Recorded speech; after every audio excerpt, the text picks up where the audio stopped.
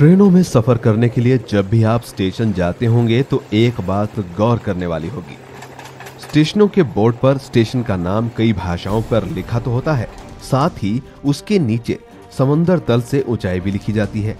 आप सोच रहे होंगे कि आखिर ये क्यों लिखा होता है? तो ये हम आपको बताते हैं।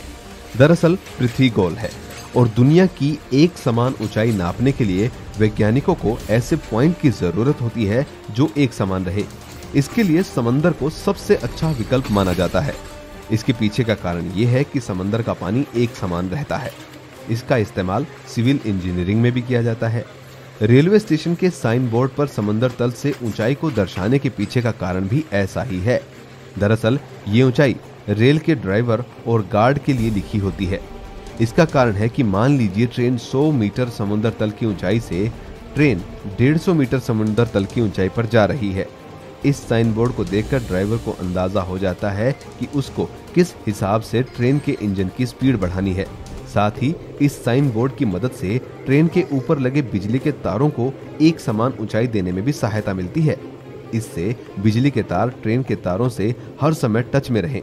ये जानकारी आपको कैसी लगी? हमें कमेंट बॉक्स में ज़रूर लिखें।